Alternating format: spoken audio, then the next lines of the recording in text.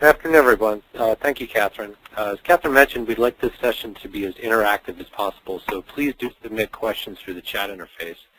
I'll be selecting questions as we go along, and we'll also have a Q&A segment at the end of today's webcast.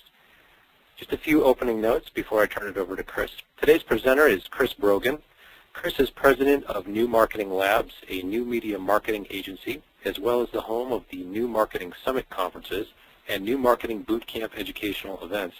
He helps large and mid-sized businesses understand how to use social media tools like blogging, social networks, community platforms, and more to build business value for marketers, sales organizations, and internal collaboration in general. We're thrilled to have Chris with us today. Chris, thank you for being with us.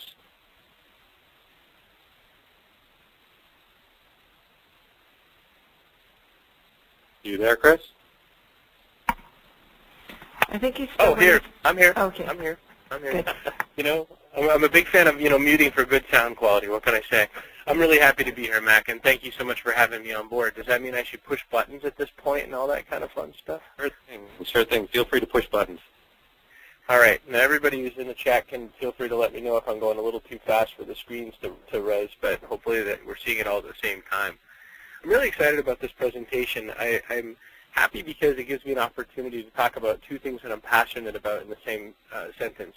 I've been a book lover since, you know, before I knew that I was a book lover. Uh, I started to read very, very early. Uh, my first sets of books that I was reading out of were things like uh, Stuart Little, Charlotte's Web, and Trumpet of the Swan, which came in this nifty little three-book set. I grew up in libraries such that when I was 13 years old, if you wanted to find me in my small town, this is before there were cell phones, you'd call the library to see where I was. So, you know, books are in my blood, and so is this whole idea of social media and what it can maybe do for publishers and uh, the whole information industry as a whole. The way I'm going to present is uh, talk just a little bit about what social media means, and the way I use it, I use it more or less like a two-way. The definition I use is just it's the two-way web. It's pretty much any interaction that allows for two-way. So in my mind, even some of what goes on inside the covers at Amazon.com is social media to me because it allows for sort of a participatory experience. I can read other people's reviews. I can comment back and forth. They've sort of tucked those wikis and other things in there, so it gives me an opportunity. But we've, of course, gone so much further along than that right now. Um, so just a really quick one for the few people in the room who maybe don't know me, haven't seen me. That's my strange head. I look something like that. I'm wearing a different shirt today. That's me. So the entire presentation, that's who's talking to you, unless Mac jumps in and says, shut up, Brogan. So I want to get right into it, and I don't normally do sort of an agenda slide, but you know, I feel a little bit intimidated that I'm talking to a bunch of brilliant people that actually start their books at the table of contents instead of writing all over the place. Um, so basically, I want to go along this rough uh, outline of landscape strategy, actions, costs, and Q&A. And I'm going to blaze through to get to the Q&A because really the, the benefit of going to something like this and doing it live is that you can ask me a whole bunch of questions uh, versus the opportunity to uh, listen into the webinar later and you know get a sense of what you missed. Um, by the way, I, I, think Mac mentioned at the beginning I was busy trying to unmute myself. Um, you know, but I'm also going to get the opportunity to do this live in New York sometime in March for uh, Tools of Change, so I'm excited about that. So I want to talk just a little bit about the landscape and you know what are these tools for social media and you know why why should they matter to you in, in the in the book world. I was really excited to find a lot of opportunities uh, to, to learn about this, but the first thing I want to mention is something you all know already, is that we are the most atomized culture ever. And by atomized, our time is so split and we are so distracted and there's always stuff on the go. And it's really hard. I mean, especially when you look back at the great classics and, and the way books were presented in the past. Look at Melville and pick up Moby Dick and think of that book as something that you're going to read back and forth in the office or in between Twitter and in between coffee breaks and things like that. It just won't work that book just does not work well in a society that is all about velocity. So I just want to say that first and foremost, that's, that's an issue to, to concern yourself with, is that this is a very atomized culture. By the way, when finding that photo, I was pretty happy with the little hula dancer in the front. So there's an office setup you can get behind. Blogs are one way that people are starting to consume their information. And I don't know if you can notice that, but that's also Chris Webb uh, of Wiley a little disclosure, uh, Chris is my publisher at Wiley for an upcoming book that I'm writing, uh, and I've, I've, since moved over to a different group within it. Um, but the reason that all happened is through social media. Chris knew me from the web before I had a book deal, and Chris and Ellen Gerstein knew me from out and about through social media experiences. But I mean, some of your own and some of your own best people are doing some really, really great uh, stuff in this industry. And I mean, this this one site, ckweb.com, is loaded with with information for people understanding how to get into publishing and all that sort of stuff. It's not widely specific. It's good advice for people. Um, I really loved the, if you look in the right sidebar, you see five ways to get me to quickly reject your book proposal. Um, I've violated a few of those five. So I just want to say it's definitely, definitely a lot of fun. Oh, hi, Ellen. She's in chat. Also, I wanted to bring up another really great blog that I like called Books on the Nightstand. Um, this is uh, Ann and Michael, who are also both on the call. And uh, this is a book uh, group of people who are uh, both in the professional business of publishing, but also who just love books like I do and want to talk about great books to read. And so what I love about this is there's already people doing great social media work in this space already. So I'm pretty happy about that. And uh, there's a couple of things to say about this. One is that blogs give us an opportunity to have interactions. So if you're the famous author Neil Gaiman, who has a rabid, rabid following, you have the opportunity to have conversations back and forth. And it's funny, when I, when I went and grabbed a snapshot of his blog, he was writing about Twitter and whether or not he should get on Twitter. And what he was saying was basically he seems like, he feels like it would be sort of self-serving and stupid. But it was funny because I went there first. I went to look at Twitter and see what, uh, you know, whether or not Neil had a, a, page there. And so he had actually answered the question on his blog. Uh, he's been using this for a long time. Neil has had a website and a blog running for several years, and it's allowed him a very different relationship with his fans. So I know that that's very unique to the different kinds of authors you have, and I know not every author wants even more pages to fill in. But when there's an opportunity and when there's a chance to kind of you know, build a presence and a platform around your author, that's an important thing to consider. And if it's nothing more than just sort of facilitating the technology part, because you know Neil didn't exactly cook this blog up himself, he had people work with him on it. That's a really inexpensive service to offer your authors, and that gives you a whole bunch of things, including organic search opportunities. It gives you quality content that people feel like they're getting out and around the book, and it gives you an opportunity to uh, have one more point of presence where you could do starting um, from and start to build relationships with. So blogs is really one of the first pieces of the landscape that even though for a lot of us it's, it's old, I mean I started blogging back in 1998 when it was called journaling, um, which I guess Neil still calls his a journal. Uh, it's, it's still one of those things that has value and gives you lots of good recurring quality content. Um, Facebook. Uh, Facebook isn't just for kids anymore. A lot of us on the call are aware of that. I mean, the fastest growing vertical inside of Facebook right now is roughly the 35 to 57 year old range. Um, there's you know a big, huge percentage of people growing into this space and doing all kinds of stuff on it. What Facebook allows for is slightly different. It allows for sort of a more fan-based type relationship where you can have everyone has a presence and everyone has some interaction. And I don't necessarily recommend Facebook be the only point of presence for an author because I think that that sort of uh, restricts people from getting to all your stuff. I will say also that the um, the one thing you can do with Facebook, and I'll talk about it later, is use it as part of an outpost strategy, meaning all of the different kinds of things I do out on the web also flow through my news and information stream on Facebook, which means other whole crowds of people get an opportunity to see what I'm doing. So if you can look at my example, if you can sort of squint at the screen, you can see that I wrote a little note on my thing saying that I'm, uh, you know, giving away a webinar for publishers tomorrow, um, and that uh, on my status it says I'm sharing social media tips with publishers. Well, those things go through a little stream, and then people start asking whether or not they can be involved in it. So it really gives it gives sort of some opportunities to uh, interact. Facebook also had a lot of groups. I started looking around for groups with the word books in the title.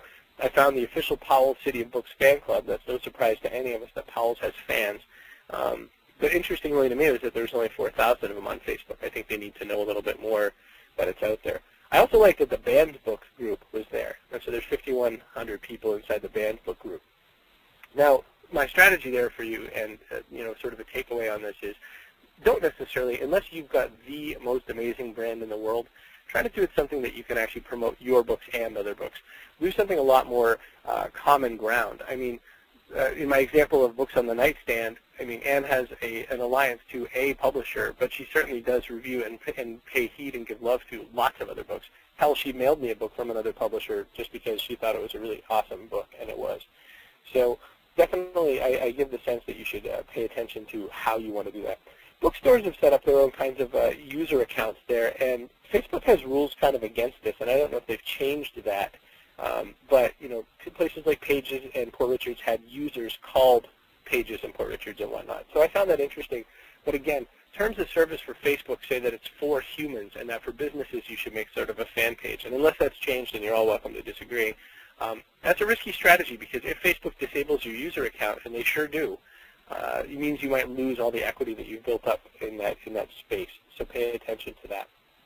I also looked around for you know publishers, and I found some. That's just using the search feature inside of Facebook. Ah, Twitter.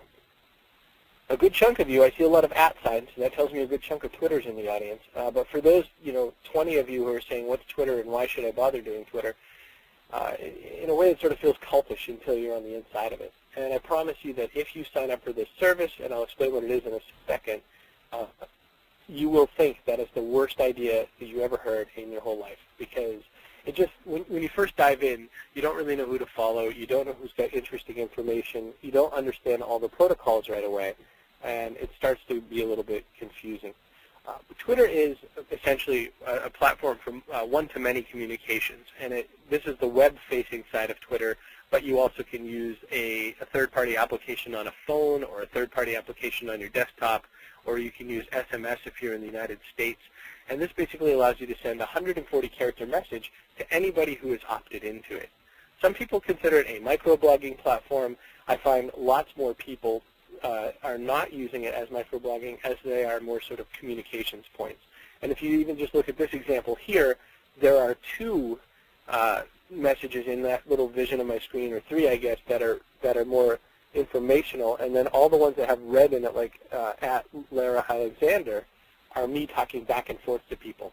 It turns out that most people on Twitter don't especially like someone who's just blurting out information all day. So if all you're doing is talking about your new book releases, no one's going to really pay attention after a short amount of time. But for example, I went into Twitter and I looked around and, oops, I must have moved my mouse. Okay, I found Warren Ellis. Warren's quite an author. Uh, he, he, writes a lot of genre fiction, and uh, he has he has quite a following. He also kind of plays himself up pretty hard. Um, and I would say that um, what's great about him, though, is he's really doing a lot of um, interaction with his crowd. He's doing a lot of back and forth with his people. He's only following 95 people. He's got 11,000 followers. So that it's sort of a something to watch. That's in the upper right-hand corner where I'm talking about that. That sort of means that he's chosen to use the, the listening side of tool to not exactly um, communicate with everybody, but instead what he's going to do is just sort of watch the 95 people. He probably uses something like a search tool to see when people are talking about him, but other than that, he's got a lot of people paying on attention. Uh, so I also found author Paulo Coelho, and if I said his name wrong, don't kill me.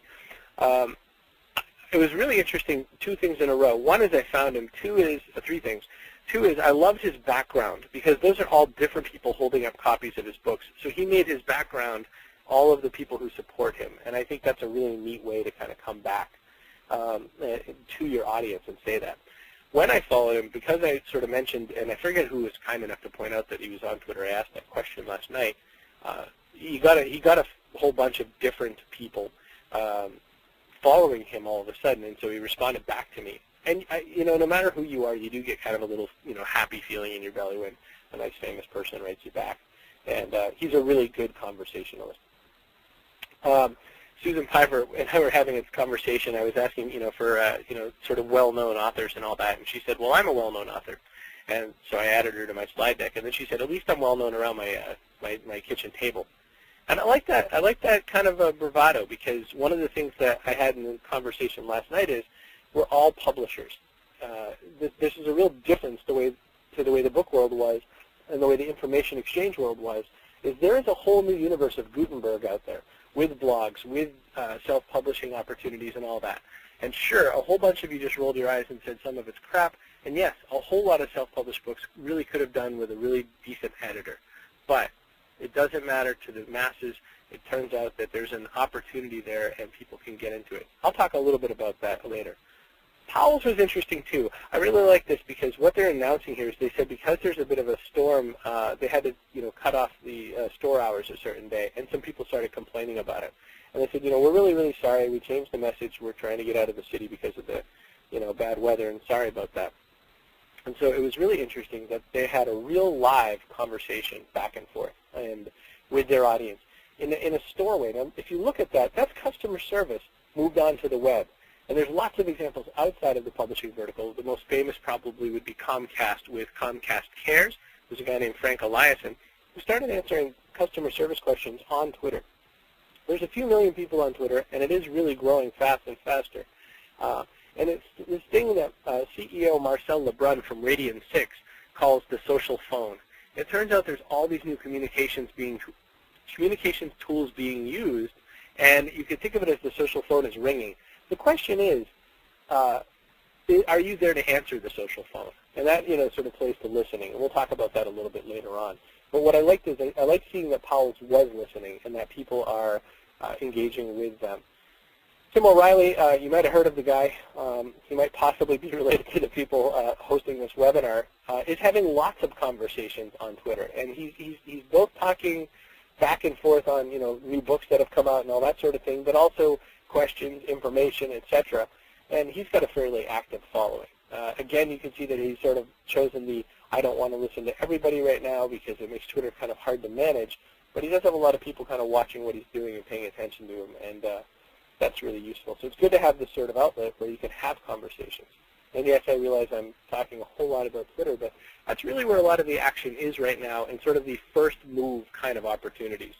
Um, John Battelle, uh, Federated Media, and also he wrote the book The Search. He and I were talking about publishers last night. If you look down below the most recent search, it says, at Chris Brogan, we're all publishers now.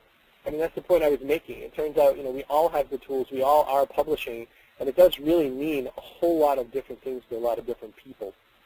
Um, the other thing he points out is, of course, that he wrote the book The Search, so uh, about Google, and so, of course, I had to add him into my pile there. The really secret power of Twitter, though, isn't in just having the conversations back and forth. It's at search. Search.twitter.com is the super secret powerful trick. If you go there, you can start searching for interesting things. What I, what I did on this particular search was I put the words book and gift and to see anybody talking about best ofs or gift books or anything like that because those are opportunities. Those are opportunities to find passionate book buyers and that's an opportunity to start marketing if you have a nice, gentle relationship with them. That doesn't mean, oh, you're talking about books. Here's my junk. It means start with a relationship. It means start with uh, getting into a conversation with these folks. And so I did want to say that using a tool like Twitter Search is the secret power of Twitter. It's not just the conversations. It's this piece of it, using the search tool. For example, I also searched on great book. How would you love to be paying attention every time someone's talking about a great book? And you know the difference. You know what's in your catalog that is not a great book, but that's just something you hope you get 5,000 copies out of, versus the stuff that you do consider the absolute best and somehow unheard piece of uh, information out there. By the way, Tim Ferriss, the author of The 4-Hour Workweek, talks a lot about how it went. He went from using traditional PR and traditional publicity to try to get his book famous uh, to switching strictly to social media.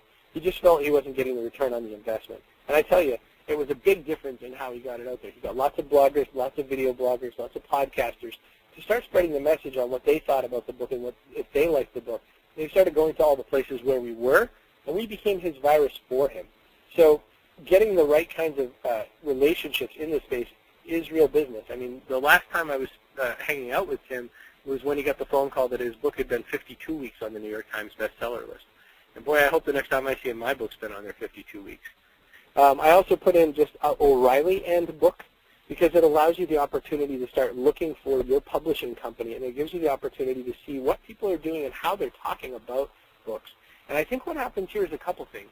It allows marketers the opportunity to think about uh, how to reach new audiences. It also gives you product ideas. Sometimes people are trying to use your book in a different way that you didn't expect, and maybe there's an opportunity for a follow-on product or a sale product. And so I think it's important that you, you keep your eyes on how Twitter search can do this. This one I just put the word publisher, and I was talking about some different kinds of opportunities. One of them I found was kind of interesting was that Candy Blog said, it is sad or funny that my royalty check from my publisher for the past two years is smaller than my blogads.com payment for the last three months. Um, I actually, you know, everybody knows that book authors, you know, think that they're going to get millions and millions for their book, and that it doesn't always work that way. But it's funny how many of them, once they catch on that they can actually be an affiliate seller of their own book, actually get money twice for every book they sell if they sell it through their own, say, Amazon links or other services like Borders and Barnes & Noble. Uh, so distributors are paying attention to it as well. I wanted to talk a little bit about YouTube because if you haven't been paying attention to this, YouTube is definitely uh, an interesting experience right now with books. There's a lot of people making book trailers. People are spending money on doing uh, book trailers right now, and it's really interesting to me. Um, the bottom one on that list aside, I mean, Jodi Picoult has a, uh, a, trailer in there. There's one for um, a whole bunch of other books that I've never actually heard of, but then in every case I was willing to sort of go through and watch this on YouTube. YouTube, I think last month was when they crossed the 13 billion views in one month time frame. 13 billion views in one month. I just want that number to set in on your head because if you're thinking that YouTube isn't the place to publish books, think again. Turns out that YouTube might be a great place to put some information about your book in, in the right hands. Uh, this is uh, Scott Sigler at uh, 40 minutes from now, a post will come live on my site for Scott Sigler's new book called Contagious. Uh, that trailer, if you Google for, or go to YouTube, sorry, search for Contagious trailer, Scott's a really interesting story. He's a, he's a podcaster who, who was writing a lot of fiction, usually horror and genre fiction, and Scott was not really getting the door knocked on too well for his books. Nobody really cared. And what happened was this. He, um, I'm going to go back and answer your question, Neil, in a second. Um, Scott uh, had a situation where he decided to make a podcast out of his book, and he did serialized content. And it was amazingly successful. And he did a lot of downloads of that podcast, and a lot of people got interested. Well, then what he was able to do is he was able to take those numbers to a publisher and say, hey, look, I have a huge following, and I have a lot of downloads, and people do want this book. And he got the deal. And now Scott's doing another book, and he's got the deal as well. And he actually convinced the, I think he's working with Crown. You know, you can tell me I'm wrong on that. Um, I think he got the deal such that he's giving away the serialized podcast again for the book, and he's giving away a PDF serialized for the book as well, uh, alongside of selling the book. The book comes out uh, right around New Year's, like December 30th, but he's doing that ahead of time. By the by, if you happen to, uh, thank you, Michael. If you happen to uh, look at that trailer, it's a little uh, disturbing, one might say. So uh, just be forewarned. Um, had asked a question about, you know, look at the views on these things. I mean, that thing's been viewed 1,500 times. Uh, some of those other ones have been viewed, like Jodi Picoult, 21,000. 21,000 uh, active live views of a video is way better than a lot of people's return rate on their paper books, uh, you know, when you're sending out galleys or when you're sending out returns for review and all that. If I got 21,000 eyeballs on it, I don't care that it's not a million because I'm just going to try to get as many people to see it as possible. So I'm not, I'm not really worried. The numbers game is more of a quality of numbers because these people are seeking out this information. And further, look at what you can do with Scott Sigler's trailer. I think that it's uh, better that I can embed this thing. And I did. I embedded this video on my blog for the, the uh, 2 o'clock Eastern time today because it's one more way to have an experience with this book, and it will give you another opportunity. Um, also, LinkedIn people think of LinkedIn as a place to put the digital version of their resume. It's not. It's a live, active network, and it's a live opportunity to get in touch with uh, all of the people that are doing stuff in this space. I was really funny. I was trying to think of ways to search my uh, network and see who I could find. And so I typed in writer. And so I found, I think the number says 120 writers. And I found that that was a, a pretty interesting number. But it's funnier still when I look for publishers because I only have 44 of those. So I think that the number's kind of, you know, it's three to one, three writers to every publisher out on my LinkedIn network, if that's any kind of an example of what's on the go. Uh, James asked the question, have I found the new media leads to previously non-readers and buyers?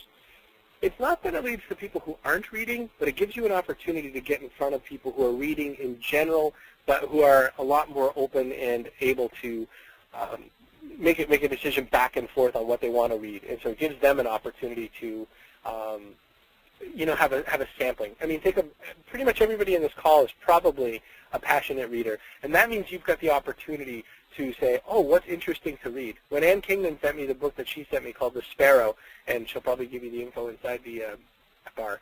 The Sparrow was a book I had never heard of. It was kind of a science fiction story involving Jesuits. I hadn't read fiction in a long, long, long time, since 9-11 actually. And Anne sent me this book, and it was beautiful, and it was a wonderful thing to read. And so I got sort of a, uh, I got a really powerful feeling out of the book and really enjoyed it, but it wasn't something I would have read. That's a sort of, that's a one-to-one -one kind of experience. Well, these things like YouTube allow a lot of one-to-many kind of opportunities like that. Uh, I wanted to talk a little bit about some of the sites. Uh, Cheryl Smith points out that there's Goodreads, which isn't that far away from LibraryThing. There's a lot of these sites popping up, and what they allow most, the part that I'm most excited about, uh, is uh, things like the uh, uh, share, show your books on a shelf or as a list and all that kind of a thing. It's a way to keep getting more and more people doing, you know, sharing for you, doing tagging, actually annotating the web. If you look where it says get recommendations, tag your books and explore other tags and all that sort of thing. You can actually even do book reviews and all that. I think it's a really powerful kind of opportunity to uh, do those sorts of things. Um, Lena has a question of whether or not I think social media works better for nonfiction than for business titles. No, not at all. Um, I will say that when I went out searching for different books, one of the first ones I looked for was uh, Twilight uh, because I'm, I'm seeing so many people go to that movie over and over again. And my wife's seen it three or four times, and then you know she'd already bought the books and loved the first one, and then they just descended from there.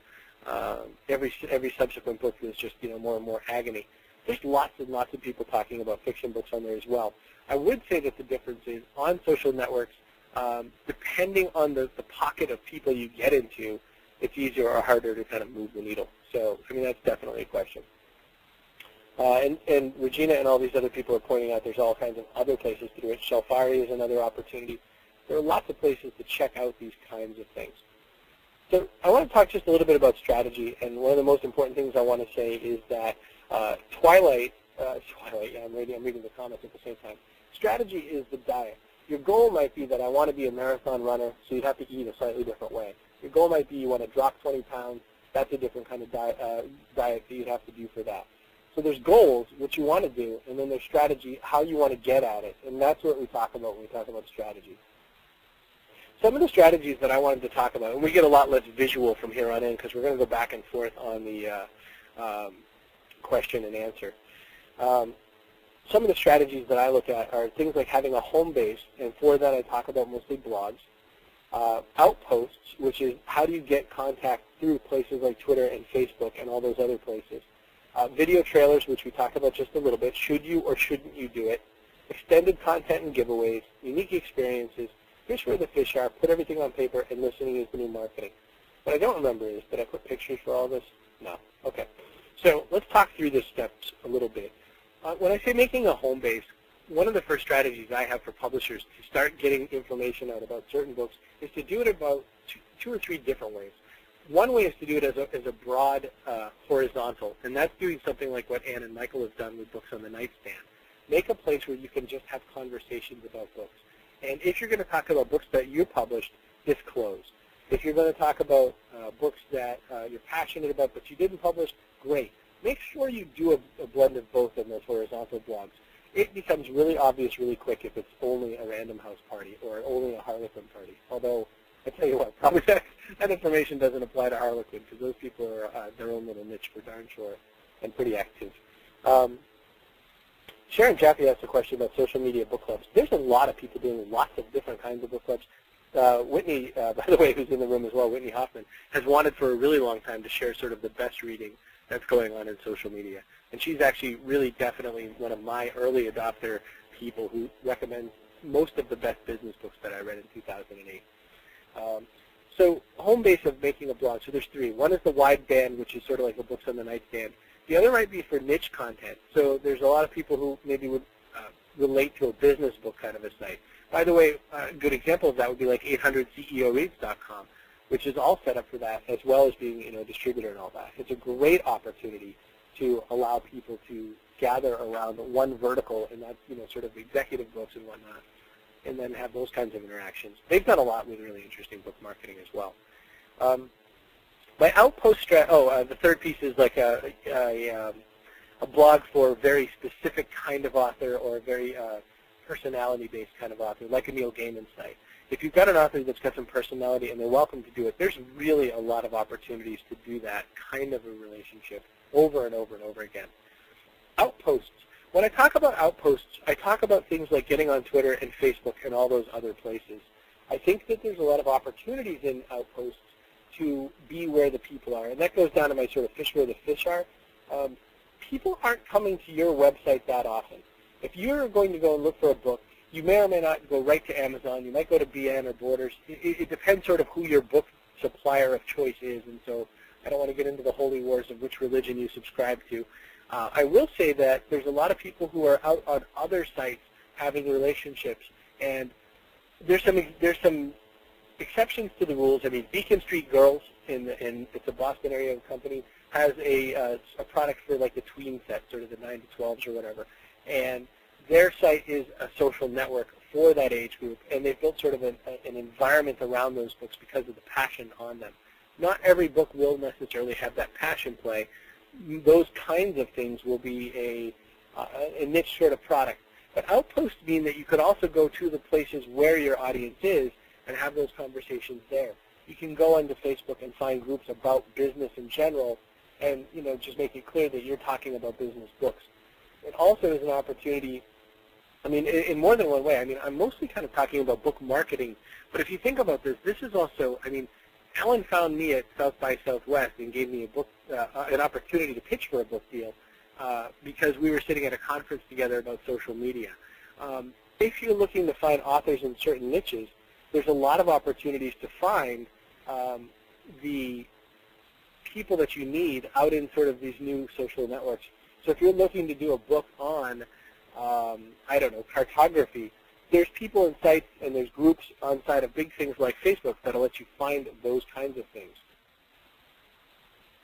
Uh, Whitney's pointing out a podcast called Just One More Book, which is, which does a lot of reviews of kids uh, stuff from uh, a couple up in Canada that we know there's lots of ways to kind of get into all these new spaces. And the beauty is, because this isn't mainstream media, there, there's a lot less sort of restrictions on what kind of content. There's a lot more opportunity of people that will allow you to uh, get back and forth with lots of other people of like-mindedness, etc. Uh, as Chris Webb points out, there's an in community for almost everything. There's there's hundreds of thousands of them. I think at this point, I think it's crossed 100,000. Uh, the video trailers question strategy-wise, was a question of um, whether or not you should do a video trailer. My point is that probably it's only for passionate fans. It's only for books that would have a really big user. If you're going to just do basically sort of a wiggly slideshow and a couple of voiceovers, uh, I don't think it's going to sell anything. I think there's lots of other opportunities, though, for doing video stuff. You don't necessarily have to do um, just a video trailer with that, you know, um, that King of All Voices guy kind of a thing in a world where people read books, this is the next one you should read. You could actually just have conversations. You can grab a flip camera from Flip Video and do like an $87 camera and about five minutes of editing, or get a guy like Nicholas Chase to put it together who's in the chat room, who's actually a professional video editor. And you could have something slick for not much money that would actually be more conversational based and give you a better sense of the person behind everything else. Um, when I talk about extended content and giveaways, um, I'll, I'll, talk about that just a little bit further more down the road. But it's been really kind of a trend lately for people to make uh, their publishing material such that there's maybe an extra chapter that you can only get at XYZ time, or that maybe there's a uh, an extra piece of information going on outside of the um, the sphere of what you're what you're uh, covering inside the books. It means that you can you can offer things like well like StrengthsFinder 2.0. I bought StrengthsFinder 2.0 almost exclusively so I could get that code because I'd already read the thing at the library. Um, I just wanted to make sure that we could, um, you know, get that information and do the StrengthsFinder test myself. So I bought a book just so I could log on to a website and take the test. I mean, what a totally powerful thing. So that's uh, my thing about extended content and giveaways. Unique experiences and capturing them. There's a real lot of opportunities to uh, go out there and, and make really unique experiences around a book. And it might be, I mean, you want to follow one example of that over and over again is how Seth Godin has marketed each one of his books. Free Prize Inside was a whole different kind of a thing than uh, what he did with The Big Moo. And everything was different with The Dip. And everything else was very different with uh, what he's done recently with Tribes. And in every single case, Seth has done something different with his book marketing that has translated internal to the book and or has also been outside of um, the experience of, uh, of what he's trying to promote. Like uh, uh, Michael points out uh, what he did with tribes, and it's what I did. What I was excited about is I was one of the first couple hundred people to join the tribe social network, uh, which is essentially just a pretty Ning site, and I felt really uh, excited about it. And then I felt overwhelmed because as a few more people came in, uh, they were all rabid and passionate and all wanted to kind of get into it. So I think it's it's, it's kind of interesting how that all goes. Um, and I'd answer Laura's question, but Seth has answered it a bunch of times. His opinion is that uh, Seth can't really be the best on Twitter and doesn't really want to be in every single conversation, and so he's chosen Twitter as one of the ones he's not going to engage in. He's pretty responsive in his email, and for how brief he is, it feels like Twitter is his um, Fish with a fish are we kind of covered. Um, I did also want to say put everything on paper. This is an expression that we're using inside of my book called Trust Agents, which deals a lot with um, how you can rehumanize the web and how businesses are doing stuff across the web uh, using these new social tools. And when I say put everything on paper, there's a difference in what kinds of things, like when you're sending out galleys, for example, when you send out galleys, it only really gets to the person who's doing the reading and all that. Are there ways you can do it on the web so that more people can see it? Are PDF galleys something that you want to extend out a little further than your paper book galleys? And a lot of people say, no, no, no, because, you know, that'll spread, the, you know, no one will ever buy it. it, it it's just kind of not true. The stats aren't exactly holding up to that opinion. It, it seems that what's gone on is that if you, people get the PDF, they either really do want to uh, read the book or they really don't. And they either do read through the whole galley or they don't. And as a guy who has about 200 PDF galleys sitting on my desktop here on my computer, I'll tell you for sure that I've read about six of them beyond the first couple of chapters because if I'm on my computer, I'm getting distracted and I'm going to do something else. It turns out that you can actually go and uh, do some reading in places where there's not a computer, and you know that's still actually the way we prefer. Um, I'm not going to talk a lot about stuff like the Kindle because I don't have enough experience on it. I'll probably have to pick one of those up this holiday season and uh, ex explore it, or at least that's what I'm going to tell my wife why I need a Kindle. Um, uh, yes, uh, Yale, to answer the question, my book will be a real-life book published by John Wiley sometime in the fall. Um, listening is the new marketing. I think one of the first things I showed you was that, um, sorry, there's a giant truck outside here uh, making loud noises. Um, listening was one of the first things I showed you about uh, Twitter. I wanted to show you that Twitter was a really important uh, tool, but that the listening part was the important part to me. There was, was a lot that mattered to me, the listening side of it. So I definitely uh, wanted you to understand that uh, listening is, to me, the new marketing. It turns out that there's a lot of folks uh, who are doing a lot of listening by way of the social web. And they're using either free tools like Google Blog Search or Technorati.com. I'll show you a little bit about that, I think. And or, uh, you know, using some of the, the paid tools that are out there. One company I like a lot is Radian 6. There's also tools like BuzzLogic, BuzzMetrics, et cetera, et cetera. Uh, Michael and a few others are talking a little bit about audiobooks, and right on the seat beside me is uh, Predictably Irrational by Dan Ariely uh, in CD form. Um, what I'm starting to want in books, by the way, is I'm wanting to be able to buy all the media at once. I want to be able to get the paper book for when I'm not listening to it in audio form. I want the audio form for when I'm driving around in the car. I want an MP3 for when I'm on the plane. And I want a PDF for the times that I want to actually just do reference back and forth on it. I'm starting to wish that I could get that bundle in one time. And publishers have been really resistant to that because they see them all as separate channels. But I'd love to see a study on that. I'd love to see if you even did a test on a couple of your books, maybe your outlier books or your low-level books, would you get more people to buy just, uh, you know, sort of a, an all boat of a book? And it wouldn't, I mean, you wouldn't actually get double. Like, I would not buy the audio CDs for the full price and the book for the full price. But I would probably pay about a third more than the hardcover cost if you'd give me the whole thing in a bundle. And as I know how much it costs to burn an audio CD, I think you could make that deal happen. So I just have that feeling that uh, there's there's an opportunity out there uh, in packaging and, and sort of bundling that would give us that, that opportunity. And James, you're right. There's a lot of inertia against it. I would say that uh, you know there's also a lot of publishing companies going out of business and losing their shirts. So have all the inertia you want. Someone's going to offer it, and you can either be first or you could be a me too and we know what those things happen. Let's talk just a hair about action and uh, what we should what we should do next. Again, I said let's start with listening. One of the first things I want you to do is go to google.com slash reader and start making that your listening software of choice. A whole bunch of people in the room are going to explain why Bloglines is better, why NetVibes is better, why Who Cares What is better.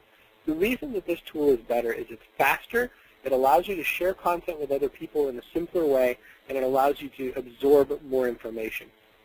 If you notice the left sidebar of mine where it says what subscriptions I have, I have them broken out into different kinds of categories.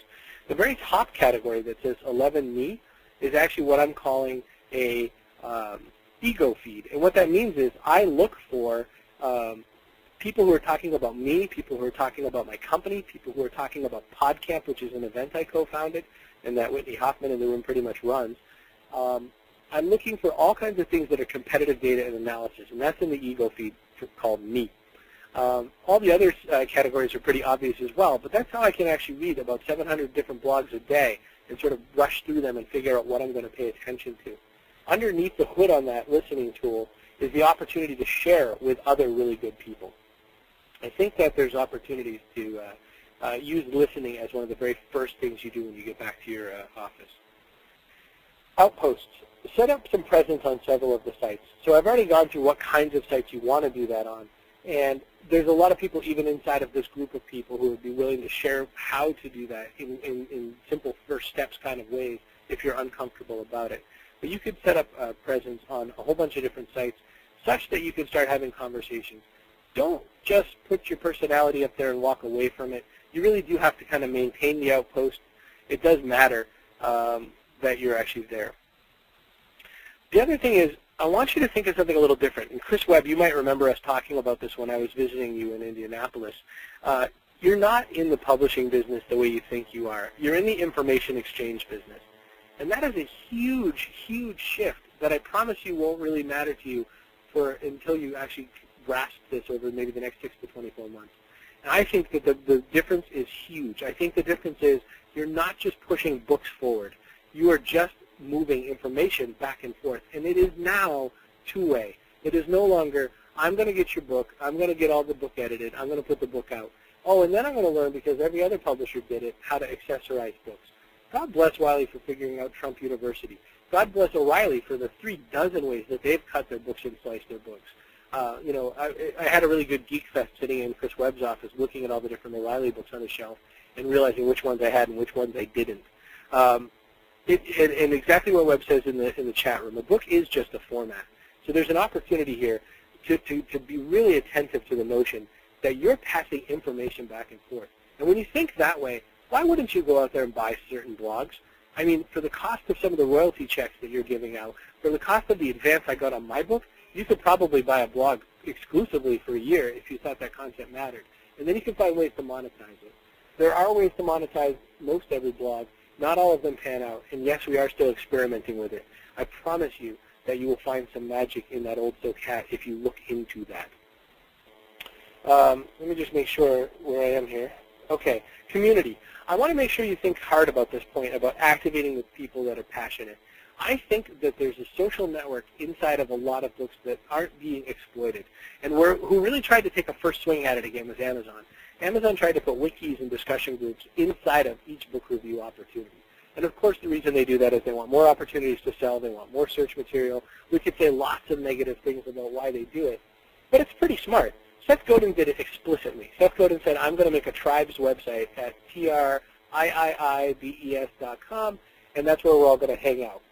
But I will say that there's a uh, there's an opportunity to sort of build a social network around and inside certain books. For example, Jim Collins' Good to Great, when that book came out, everybody was freaked out about it. My company senior team bought like 55 books for the whole senior team and or the whole uh, senior project team as well. We all had to go around and talk about our hedgehog principles and all that kind of stuff. Think of how many more uh, volume of sales we could have if we had a social network and if we were sort of building more community-based conversations. Now think about whether or not the publisher could manage those kinds of social networks and build those kinds of communities and have opportunities for more selling. I mean, Collins had some spin-off properties that came much later after the fact. But what if there were a community of people actually contributing content that other people wanted access to? Would people pay a subscription, maybe even the cost of a second hardcover book, like 24 bucks a year, to be part of a really active, passionate, conversation around certain books. And at that point, by the way, if I could get you 20, think about this for a minute. Think about a really different pricing model. What if I charged you $24.95 for a year's access to a social network where the author and other people who support the author was inside that, that opportunity, and I gave you the book for free? That's what Seth did with Tribes, if you think about it. The book isn't the, the book isn't the book. The book is the souvenir from the concert known as Tribes. Um, let's see. Let's get to some questions. Uh, anybody self-publishing via via print on demand? Oh hell yeah! Uh, Blurb is one company that you could look at. blurb.com. Uh, there's a bunch of others. Lulu.com. And there's a lot of people. Oh, oh, you mean print on demand, like inside of Borders and that sort of thing? I think I don't know enough about who those people are that are doing that sort of deal. iUniverse is another. Um, I don't know who's actually doing it from those, like say, Borders kiosks or whatever. But I think it's I think it's a really great opportunity. I mean, I support small local independent bookstores. Uh, I live in Massachusetts, up in Newburyport, Massachusetts. There's a little independent bookstore that I worked the holiday season on for five years until they changed management, just because I could hand sell books in there, and had just such a lot of fun doing that kind of opportunity.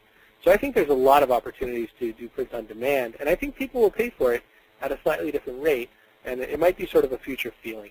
Who knows? I mean, there's that thing you get when you feel just the right kind of book. When I grabbed Made to Stick, because of that duct tape cover that cost a lot of money and probably caused a lot of fights internally, uh, that can't be replicated by just a you know an orange and gray cover. Let's go to a few more questions. Um, I'm conscious of time, and I think.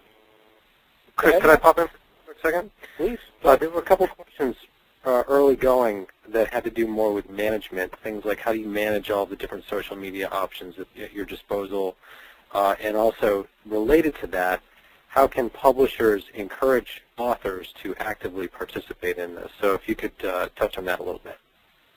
Oh, see, thank you, Mac. And uh, you did mention that you were going to be actually paying attention to all the questions, and so I was just trying to squint my eyes. Um, participating on all the sites is immediately bad and yucky. Um, it's too much work to get involved in all of the sites. And so what I always try to say is look for the site where you might have some uh, benefit, where you can add some value, and look and see if there's, you know, how you can kind of dip your toes in first and then get to learn.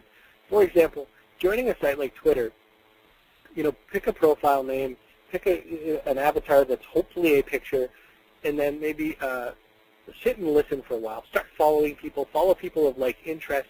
And again, how do you find like interest? Go to search.twitter.com then go and pay attention to uh, people who seem to have similar terms that they're talking about that you'd be interested in. Go slowly and, and sort of build from one place to another. If you had to pick anywhere to start on any kind of social platform, I still recommend the blog because it, it's an opportunity for people to get inside your head and get a sense of what you're thinking about and where you're coming from.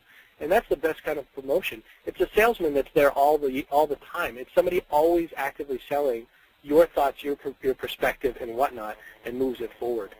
Uh, Mac, the second part of that question, remind me again?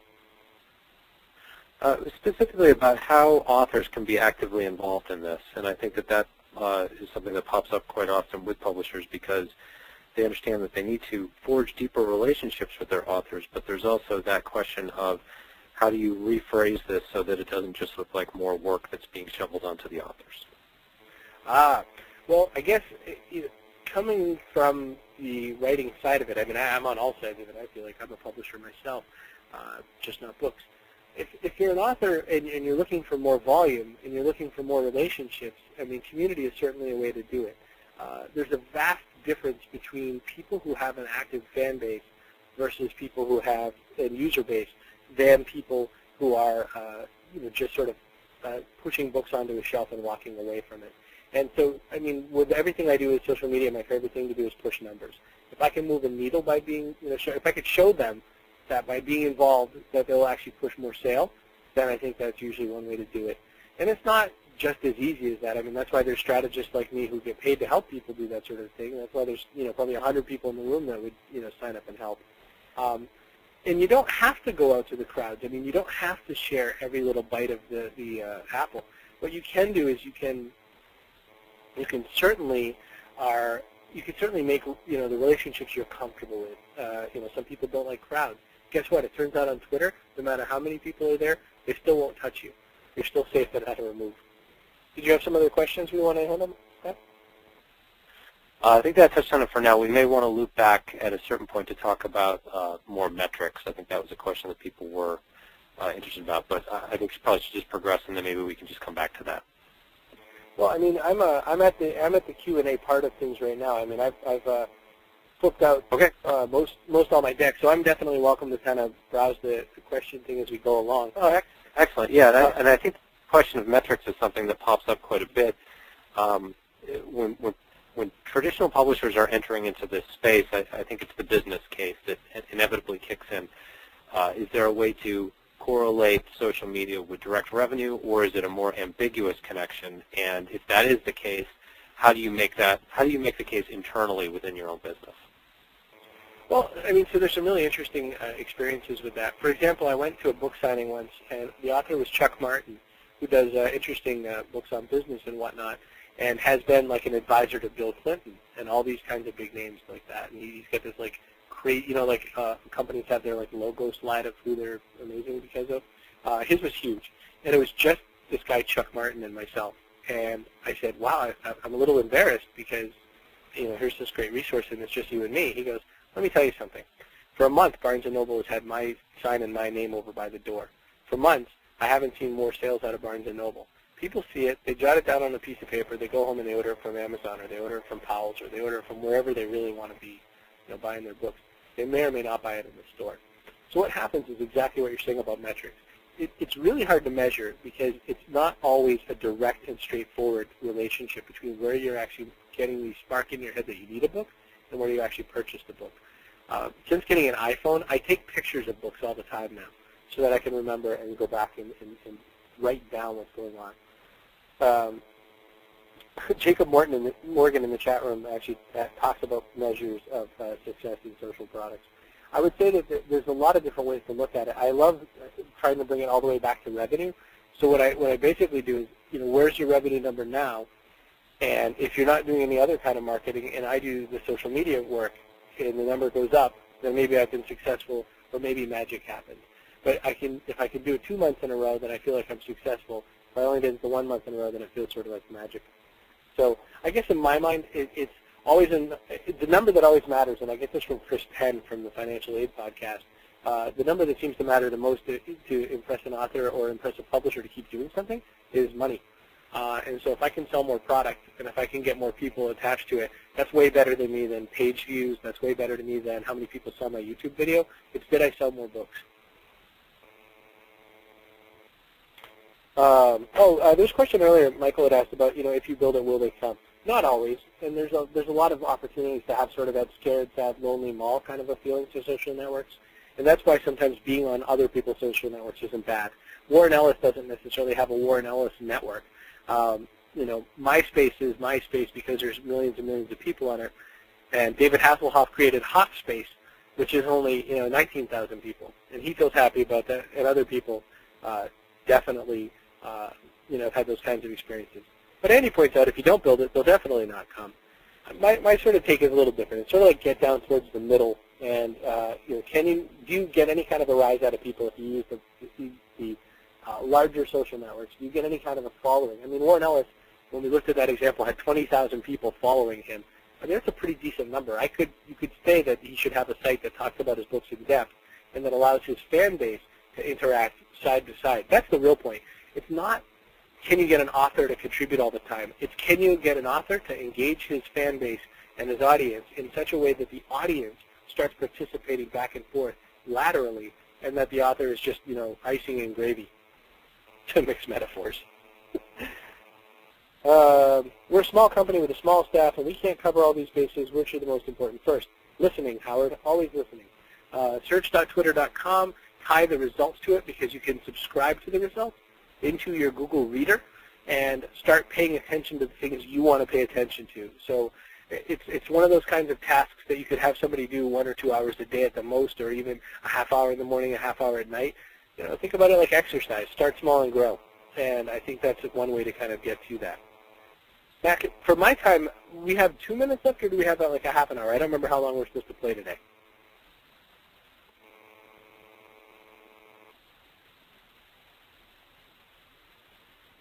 Two minutes. Thanks, Cheryl Smith. do I think Arianna Huffington has the right area to, is to work together rather than to go it alone? Well, Michael, uh, Arianna Huffington is killing all of the other um, people in the newspaper industry. As newspapers are dying all over the place, her blog, which is accidentally a newspaper, is kicking butt. Do I agree with her side? Do I agree with her perspective, et cetera, et cetera, et cetera? No. Um, I, you know, I don't agree with every single piece. Um, but I would say that she's kicking butt. Perez Hilton is killing People magazine. Perez Hilton, is, you know, this one person, uh, Mario, and I can't remember his name, Laviandera, is killing People magazine, and because he was not afraid to do it. The answer is yes. I'll share the slides. Um, there's a lot of opportunities to uh, go out and sort of jump gates, which will actually probably be the second book I read after Trust Agents. There's a lot of opportunities to get out there and really pay attention to uh, ways that people are mired. Somebody said to early on, oh, but there's a lot of old business models and there's a lot of old stuff stacked against doing some of the things that I've recommended. That's awesome. Have a ball. I think that there's a lot of opportunities to let other people come in and steal your, your industry away from you, and then you have to come back and take it again. Uh, it's a lot harder to reclaim it. One example in a totally different vertical, computers. Uh, nobody was making something called a note, you know, a netbook type PC. Nobody was making something smaller than a 13-inch laptop. And then this little company called Asus came along and made the Eee PC, and they sold a gazillion of them. They weren't the best computer in the world, but they were small and they worked. Next thing you know, uh, you had people uh, coming along and um, wanting access to that market, and then Dell and others had to come back and go after that marketplace that they lost. So publishers have an opportunity to lose all kinds of market space as well. Let's uh, let's go back into the uh, questions and see if there's anything else I can answer. But thanks everybody for letting me know the time. What do I know? I just show up. Uh, what I found helpful is your comment about we're no longer in the book publishing business. Oh, well, thank you, Jessica. And I mean, really, that's one of the things to pay attention to. And I'll answer Brian in a second. The I mean, you're stuck in the view that you want to be stuck in. You're stuck in the way the metrics are already there because the, the road's there. My overused Ralph Waldo Emerson quote, which I always get wrong, is do not go where the path already leads. Go where there's no path and leave a trail. That's important to this, this whole conversation. Um, a lot of people answered Brian saying that WordPress is a great blogging platform, and I, I agree that WordPress is great. I'm seeing some neat new stuff out of Movable Type. I mean, just today Movable Type announced a new feature uh, that gives it sort of a Twitter inside of the uh, application feature, and I think that's a really good one. Um, I would say that uh, other things to check out, though, there's a company called HubSpot here in Boston, and I'm an advisor on there, which, I don't know, if they make $10 billion, I think they send me a pony. Um, HubSpot is an interesting marketing platform because the whole platform is basically a blogging platform with a mountain of, of analytic tools built into it. So if you're looking as a publisher and you're looking to convert and you're looking to actually make more sales and you're looking to sort of build um, all that kind of feature and functionality into a site, HubSpot's kind of interesting to look at. It's a low, it's a low kind of price. There's a lot of other opportunities in sort of baking your own cake and making your own website, and I'm a, I'm a make my own kind of a guy. Kathy says we have a staff Twitter account presently, a free-for-all. Is that okay, or should there be an eye towards a singular mission? Well, Kathy, one thing that's true is that, I mean, this is all a laboratory, and we all certainly have an opportunity to figure out what's going to work. When Frank uh, Eliason was at Comcast Cares, he had no idea that he was suddenly going to get all the mainstream press in the world for being sort of the next phase of customer service. He just saw some problems on the web and decided to answer them. Um, I wanted to also point out that um, you can do a bunch of things. One thing you should do is pay attention to being sort of real and human. You want to see some great examples. Follow Whole Foods, like the Whole Foods Market. Follow LA Times. LA Times is a neat story because they very recently went from being sort of a, an RSS feed for their news stories to being a human being. And what was really cool about that was that they had an opportunity to actually start talking back and forth. And I'll admit that they stole it from Colonel Tribune, uh, who is part of the Chicago Tribune team. And Colonel's a, uh, uh, some might argue that the Colonel's fictional. I'd say that he might be a strange old man that we haven't met yet. Um, but there's a lot of interesting people behind uh, making the Colonel popular for the Tribune. But I tell you what, humans are actually communicating with these kinds of things. Um, James says part of the problem is that there is no big vision of the man on the moon, uh, you know, of where we're going, sort of man on the moon. That's absolutely true. Everything is everything big is small. Well, what do you know? Seth Godin already wrote the book. Small is the new big. I wrote a blog post fairly recently on chrisbrogan.com called Cafe Shaped Conversations. What if we don't all want to eat at Walmart? What if we don't all want to eat at McDonald's? What if we want little tiny French cafes where there's a lot of individual and unique attention and service? It turns out that that costs a little much to uh, maintain in the mass market side. So all the huge uh, publishers in the world just fainted at thinking about it. But I would say that there's an opportunity to have really niche, uh, almost like the craft beer approach to making good quality products. Think about Jim Koch and what he's done with Sam Adams. Sam Adams is a pretty big brewery that still feels like a very small craft beer uh, when compared to places like InBev, or I mean Anheuser-Busch in the U.S. Um, it's a whole different kind of experience how that one goes. Um, looking for a couple more questions. Um, yeah, there's a lot of other uh, there's a lot of other people who are connecting up in, in different ways. Let's see. Million dollar question. How can we convert page views to cash? Michael, the answer is always the same. Equip people with information they need, and then they'll pay something for it. If you had how to write the best sales proposal in the world to close uh, the uh, uh, business that I need to close, I pay for it right now because I need it. If you had any kind of uh, information that I need to close up, um, then I'll pay for it. One question was, is there a site like a Digg, a StumbleUpon, or a Mixx, or you know, what will they do for publishers? That's sort of like, how do I actually get the crowd uh, to, how do I get the crowd to do my work for me, basically, with sites like Digg.com? It turns out that Dig is really averse to marketing efforts. If, they, if people smell that it's a marketing effort versus sort of an organic sign, they won't go for it. Mixx and, and Sphinn, S-P-H-I-N-N, and Reddit um, are definitely um, a little bit more open to potential marketing, but it has to be humanized. It has to be good. It has to be catchy. And it just doesn't seem like it's going to be all that easy for people to do. Let's see.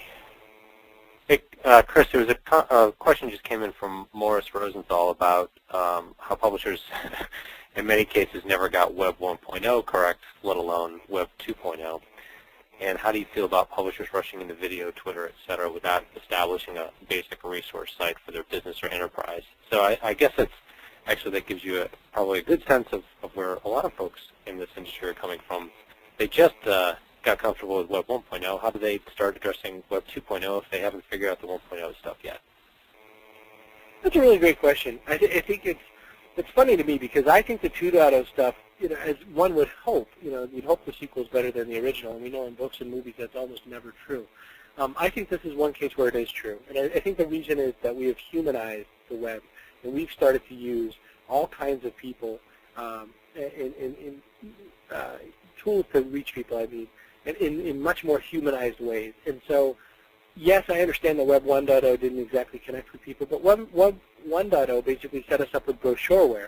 It wasn't that hard to get wrong because all we really did was come up with ways to click stuff.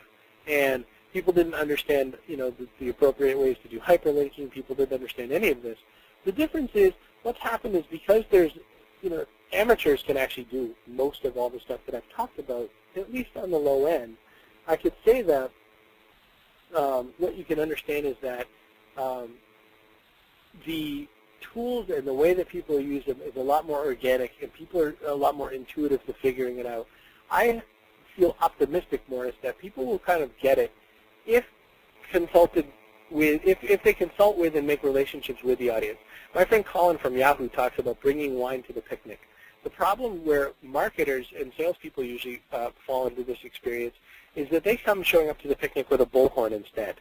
And they put the bullhorn up to their mouth and go, hey, buy my thing. If you view this as sort of a dinner party, if you view this as sort of a loose cocktail party with multiple conversations, that'll kind of start to dictate how you should have the conversation. You know, Nicholas Chase, walks into a room and says, hey, I'm a videographer and you should hire me because I'm really good at my job, is going to walk out of there with no business cards. Nicholas Chase, who walks in and says, hey, guys, how's everybody doing? What's what's the topic? And we all start talking about things like old school chat rooms, uh, is going to have an affinity. People are going to like him. People are going to walk away and and have a really good experience with that person, and that can translate to business. I get 100% of my business from people referring themselves to me by way of the fact that I seem like a nice guy and I seem like someone who's interested in what they're doing and I talk to them. Oh, sorry everybody that I wrecked your ears, but I did definitely explain the bullhorn. Um, I would say that there's a whole opportunity here to start using these tools in a much more human way. And I see that Morris has written a follow-on question that's equally big here. Uh, search is a killer app. Publishers, book publishers are the best position of all businesses through search. Yeah. So Morris, I mean, that's it's a really interesting point. I mean, people went after Google right away when Google started indexing all their books and you know all the depth of all their books. And I think it's really, really scary because suddenly you have that feeling. I mean, think about what you're thinking as you hear that. I'm going to index all your book content, and I'm going to make it available on Google. It's the same thing with Amazon Search Inside. When that feature first came out, everybody fainted. And it took a long time for people to buy it. You know what? I've bought more books because of Search Inside than I have on recommendation alone. And the reason is I need information, and I sometimes don't always get where it is. What happens to me is it's the uh, situation where people can, mean, you got to ask what you're giving away. Again, are you in the paper book business or are you in the information exchange business? Uh, there's a book that you might all have read, Thomas Friedman's The World is Flat. I bet you 80% of you own the book. I bet you far less read the book. The World is Flat, by the way, I took me the audiobook to actually get through it because it's a, it's a chunker. Uh, but The World is Flat talks a lot about value chain disaggregation. It, it's a whole issue of it turns out the thing you think is valuable isn't really the thing that's valuable. You have to get involved in that book. It's, it's so many years old now that you, if you didn't use that as a strategy point, you blew it already, but you can come back and collect it up. Um, Jacqueline, the answer and everybody else about how can I read and or talk and or think, uh, you know, I was raised in a, a classroom experiment, experience where there were no walls, and so I could hear every other class around me, and I'm a child of the internet, so I have basically spent my entire life with more than one window open. So it's just how I'm wired. Um, let's see, question from Amanda. Oh no, she's just commenting back. Uh, the other the other thing about where's the best place to go to get paid ads on your site? Oh boy, Brian, funny you should ask me that question. Um, there's a uh, there's a lot of different ways to do that, and for one, there's uh, affiliate marketing. Um, affiliate marketing is going to be a 13 billion dollar business in the U.S. in 2009, and what that means is you can go and find advertisements that actually would match your audience and that would match your interests. And for example, Amazon has an affiliate program. It's one of the most well-known book affiliate programs in the world. There's a lot of things that are flawed with it technologically. It turns out um, there's other, I mean, some of the real tiny nitty-gritty technology on how that affiliate program works isn't as good as others. I looked at a company called Abunga, abunga.com, A-B-U-N-G-A.com, which has less titles but has a slightly better affiliate program there's lots and lots and lots of opportunities to reach into all those different kinds of uh, affiliate programs and um, you know monetize your site in different ways. I don't know that advertisements all over a blog is the next phase of making money. Uh, for example, uh, one of the people mentioned, it might have been Judy, talked about teleseminars early on and that being social media. Absolutely. By the way, I mean, Seth Godin gives a lot of teleseminars as a, a promotion for his books, but there's so many opportunities to, to do small monetizations. I mean, if you had 10 minutes of question and answer back and forth on, with Seth Godin on marketing, 10 minutes, would you pay 20 bucks for that? Would you pay a 100 bucks for that? There's opportunities there to make some money that's worth it to the to the publisher and or worth it to their authors to do that kind of an opportunity. So just start looking way outside of the idea that the money is in the actual piece of paper. Start to pay attention to the idea that the money is in aggregating and distributing information in a useful way and, and slicing the information into new ways. I mean, all of those kind of companion products, you know that there's people who've done it crappy, and then you know there's people who've done it with the heart. And, you know, I mean, you know, I don't owe O'Reilly anything, but I'll give him this big, this big compliment. Those little tiny pocket books that come as a, a junk, an adjunct product to a lot of their other books are really helpful to a guy like me when I was a software engineer. When I'd be somewhere down in a data center, I couldn't take a 300-page book down there with me, but I could take a 67-page flipbook. And it was always for something I was ridiculously bad at, like using VI on Unix or something. Um, those kinds of opportunities are abound, and you can just you just have to go after them. And the only real difference is, do you know why people don't try new things? Because there's no measure for it. And again, Ralph Waldo Emerson, go where there's no path and leave a trail. Any other questions I can answer? I still have uh, you know, 15 whole minutes of air I can do here. Okay, Chris, there was a question that popped up in the in the registration. uh, and it was it was in regards to the dark side of social networking, where, and, and the question was posed as businesses that were tricking people into contributing content. But are there are there caveats? Are there things that people should be looking out for as they enter into this, or or can they jump in with two feet and not really worry about it? Oh boy, I can't think of anything where I'd want to jump in with two feet and not worry about it. Um, I mean, so let's start with the one about people contributing content for free and getting it taken. I mean, there's that's a that's a argument that's been leveraged against YouTube a million billion times. All those people are making video, and YouTube gets 1.65 billion, and I get nothing. Well, no. YouTube built a platform that's distributing your video for free, and they're distributing and uh, hosting your stuff and encoding it, et cetera, et cetera. Making money isn't, you know, inherent in people just creating content. It turns out content doesn't equal money. Content that somebody's interested in and passionate about and will pay for equals money. Um, so on the contributing side, I mean, yes, if you want if you want to do sort of crowdsourced information and sell the, the payload of that, uh, you might have to look into whether or not you owe your audience uh, any kind of a cut for that. If you're going to look into a, a, situation where there's just a sort of participatory feel and you're not going to try to monetize it, you know, let's just say that anytime money is thrown into the mix, it's, a, it's an issue. And so if you're going to try to do something for nothing, it'll always, always fail. It'll always be somebody coming back and griping. There will always be a lawsuit attached to it. It will always leave a bad taste in your mouth. So that's a that's sort of my, my cautionary tale for people who want to use you know get stuff off the back of others. Uh, but on the other side too, for prospective authors, I mean, I think there's a bunch of people in this room who came on because they want to be an author. I think that. Um, sorry, I'm just reading here. Morris, yeah, I mean, that's it's a scam. So the, the question was somebody on YouTube, somebody comes to Morris as a YouTuber and says, we'll give you 25 bucks to switch over to our site. I mean, it's a numbers game in those kind of uh, venues as well. Those sites are attracting advertisers and saying, I've got 1 million users, or I've got 10 billion views, and I've got this many uploads, and all that sort of a thing. I would say that um, it's crazy to me that all these different types of uh, places are still playing the numbers game, which we already invalidated the first time the web crashed in uh, the late 90s and into 2001.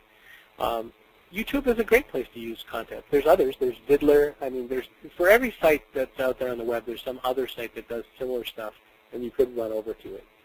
Um, it's definitely an opportunity where you can uh, build relationships with people and understand sort of the, the plus and minus before you look for the dark side. Any other questions as we're starting to wind this baby down? Yeah, there's some questions, and, and I think this has to do with uh, the nitty-gritty on a, on a day-to-day basis of giving recommendations on number of hours per day to put into social media products or social media uh, initiatives, and whether or not that's something that could translate from other skill sets that might currently exist within traditional content organizations, or if there are any sort of outsourced opportunities that exist because uh, I imagine that with everything that's going on these days with the economy, the idea of investing significantly in this, whether it's an individual person or outsourcing, absolutely factors into the decision as to whether or not to pursue it. Wow, that's like that's like asking me to pitch my own company. Um, new marketing new marketing labs is set up as a sort of a, a, way for you to sort of involve yourself in a social media agency as training wheels to get you going. Uh, different than a typical consultancy, which seems to be in existence to uh, you know build themselves projects to work on for years and years. My model is if I you know you know the old saying, give a man a fish and he has smelly hands, teach a man a fish and he learns how to lie. Um, I've taken that to the nth degree. I believe that if I teach people how to fish, then I can go and work on a new project. So um, yes, it's hard to jump right in. Uh, it turns out that there's a few ways to look at it your most passionate users inside your company as a publisher are quite often in your customer service department if it's a bigger organization. Your other most passionate ones are usually sort of in the product marketing or product management side. Um, those are where you can find the people sort of inside. Uh, Chris's point, Chris Webb says that there's already people in there using it. Find them. That's true. Every single day, and I had a really interesting case of that uh, reported on my blog, every single day there's somebody inside of an organization who's already doing this stuff and who gets sort of found out. And it, it's what the company does next that's interesting to me. Um, the other question you'd had was sort of, um, you know, how many hours a day, that sort of a thing. And on that, I call on my friends Tom and Ray Magliozzi, the Click and Clack brothers, the Tappet brothers from uh, Car Talk on NPR. Don't drive like my brother. Uh, don't do it like me. I'm on the web many, many more hours than I usually recommend a company do. there's ways to mechanize all this. There's ways to have people do sort of monitoring. Uh, if it's a big organization, you can sort of use one full-time equivalent uh, type of staff position to get that done. And by that, I mean you maybe have three people doing shifts. Um, and, but because it's all mechanized and because you can start to sort of annotate and make that uh, more tooled, it gives you an opportunity to um, build a relationship uh, with that kind of content. It allows you, uh, to, with the searching, say, for example, or blogging. Once you get into a habit of all this, it doesn't take a whole lot of time. What takes time is actually trying to expand and build relationships. People ask me a lot, you know, how do I have so many followers on Twitter? It's because I engage with people on Twitter all the time. It turns out the more engagement you do, the more opportunities you have to build a bigger relationship. I don't see any new questions up there, Mac. Did any swing by when I wasn't paying any attention? There was actually a question that had popped up um, early on, and it actually may have come in through the registration. And, it, and I think it has to do a little bit with um, managing institutional expectations. As you, as you probably know, a lot of publishing outfits are fairly traditional, um, and they're used to dealing with their audiences in a fairly uh, one-directional way. Are there things that folks who are getting involved in social media can do, reference points that they can use to sort of ease the transition a little bit? Um, are there touch points that you feel like can help with embracing transparency rather than being afraid of it? Any, any thoughts in that regard? Yeah, I mean, it, it's always, again, I love to be able to show numbers if I can. And so one way to sort of do that, and one way to sort of uh, build the connection with the senior team and how that they feel happy um, is if I can move a number. Don uh, mentions that you know publishers are thrilled with any kind of help they can get. I mean, these are tools to allow people to sort of go out and promote the things they're passionate about. Here's where companies get it wrong every single time. They want you to go out and promote the things they're passionate about. And so GM did this in a really famously bad way with their Tahoe project. They said, we're going to release a whole bunch of video clips, and you can edit the clips and make your own video about how much you love the GM Tahoe. And boy, did they do it. Um, they put out the uh, video op clip opportunities, and all these environmental groups uh, made all these videos about how you're destroying the world when you're driving in the Tahoe, XYZ, or you're taking jobs away, or you know whatever, you're killing seals. And um, the other thing that GM did in that campaign was they allowed those things to go right onto the website's uh, front page without any kind of editorial process. So they were, you know, shooting their own foot with a machine gun at that point. Um, but what they did wrong there wasn't, you know, please, you know, interact with our media. What they did wrong there was, please talk about the car we want you to talk about. And a year or so later, when they finally uh, licked their wounds enough, they were daring enough to try again with a new approach, and they made a site called GM Next. And at GM Next, they had uh, a whole section that allowed you to tell stories about the cars you love. If you think about General Motors, they have cars like Corvette, have you ever hung out with a Corvette driver or owner? Because none of them drive the car. They actually just keep it in the garage except for those two sunny days a year. Um, those people are rabidly passionate, and they really want to talk about it. The publishers can kind of gain from this is publishers can spend an opportunity of finding the people who are passionate about certain books or certain projects, certain information exchanges, and rev those up, and then maybe help find sort of the follow-on stuff in the catalog that could be helpful. Man, when Harry Potter came out, there was a lot of really smart people who started putting out the Spiderwick Chronicles and Lemony Snicket and all those sorts of things. And as a bookseller around those times, somebody'd come in and want a Harry Potter book, and I'd, I'd run out of them because it was a really small store, and we just couldn't keep them in track. And I would sell them Lemony Snicket. And next thing you know, I've, sell, I've sold them into yet another 13-book series. So it was an obvious great opportunity. Morris is asking a question here. Do I find that search traffic has saturated with time? Um, so yes, Google, the way Google works, and I am absolutely not an expert on that. Jacob Morgan is in the room. You could ask him probably. Um, Jacqueline, he's not on Twitter. That post actually said that he chose not to. Um, the way search is, is working is that if you write stuff that has good organic keywords in it, if you write stuff that has relevance to people, and if people link to that writing, then you will start to see better search results. That last part of it, when people link to it, is kind of the big experience. And um, it turns out that, like, say, Google Blog Search and those kinds of tools, you have to write stuff that's topical. And you have to write stuff that people are going to be searching on in the words that they're going to be searching on. And what you might start to do is you might start to do some kind of in-links uh, on your own blog with anchor text that matches that search text you're hoping they find. And I'm half talking on my butt, like I said, so definitely talk to Jacob Morgan after this. He's at Jacob M on Twitter, and you know get the real details. But for example, if I wanted to rank for uh, social media strategy for publishers, well then one, I'd write a post called social media strategy for publishers. Two, I'd have some of that in the first few paragraphs. Three, eventually I'd write another blog post where I'd reference that post and make sure that the anchor text, meaning the, the blue text that you click on, would say something like that as well. Uh, looks like we're getting into the final stretch here. Um, just wanted to touch on a couple of things before we, we get to the conclusion. Uh, some folks are asking things like, uh, is there one specific social network that you would recommend? And I know that's kind of a uh, loaded question. But uh, beyond that, um, do you feel that there are certain social networks that tend to attract, attract certain crowds, for example, LinkedIn and a, maybe a business-centric crowd? And do you think that there are uh, benefits to trying to create your own social networks. I know that there are some initiatives, particularly within the publishing world, that have sought to create author-specific social networks. Um, and if you have any thoughts on in that regard. So this goes back, I think it was Michael that asked the question, uh, if, if, you build it, will they come? Um, a publisher making a publisher social network won't always work. Now, certain brands, and O'Reilly's lucky in this case, O'Reilly has very passionate users, and the reason is um, you know, you're serving you're serving a, a, pure informational product most of the time that has people who you know, almost immediately benefit or don't benefit from the book. Uh, so you know, you eat your young when it doesn't work out, and you have other books that just persist and persist and persist. And it's it's one of those things where you know O'Reilly could probably get away with a fairly active social network, but again, I mean, this is one of those things where publishers are looking at it from the outside looking in, but where I've got like, you know, those affinity keychains that have like, you know, your, your grocery store tag, your video store tag, your gym tag on it and all that.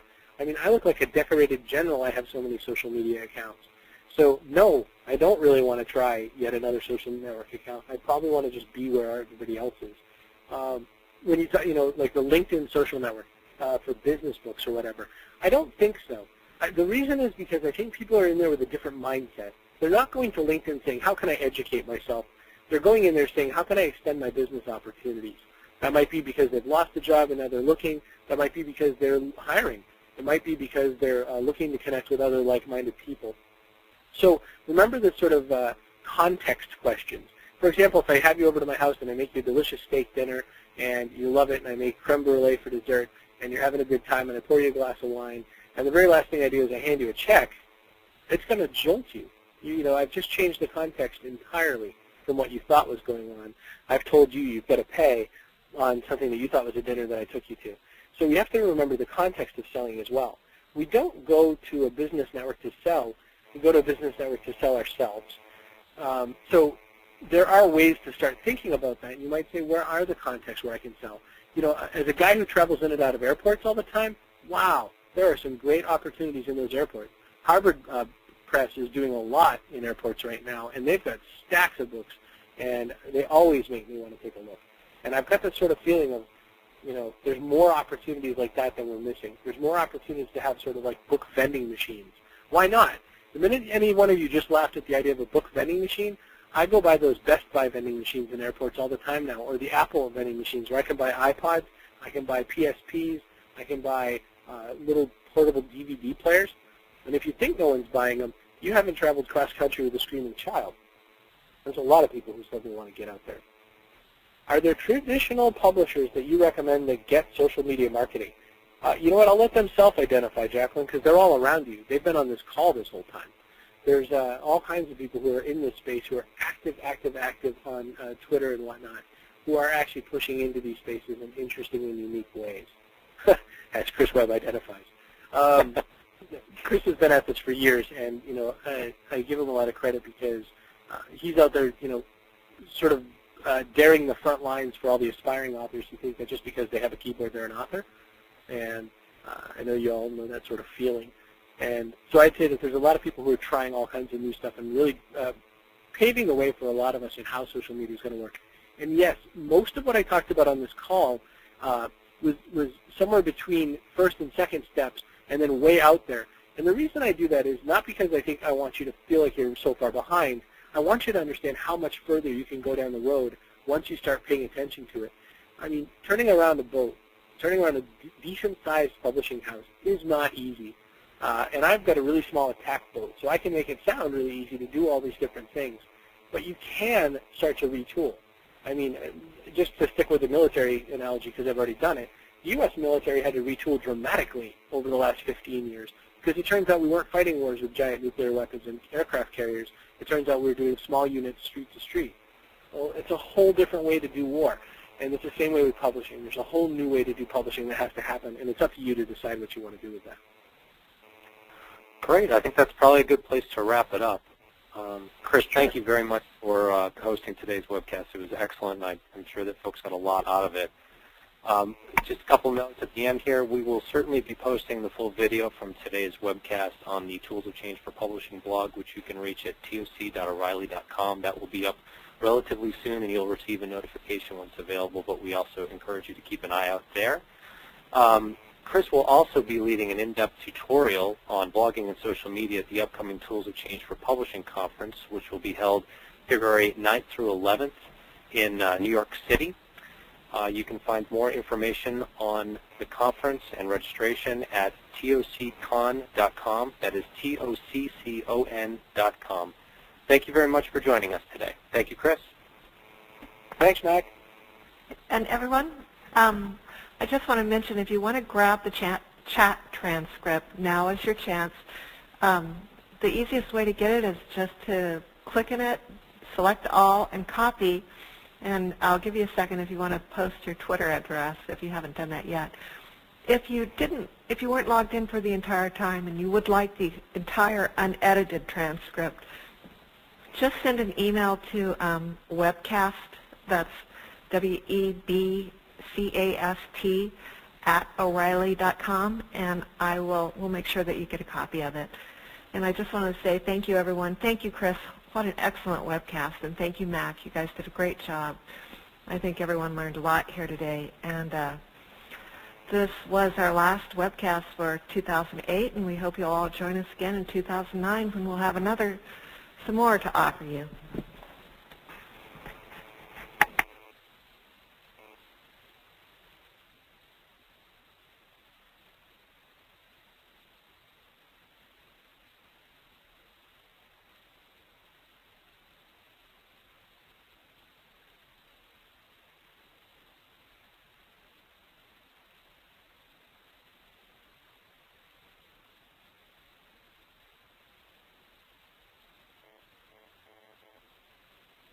Should be playing some jazz music right about now.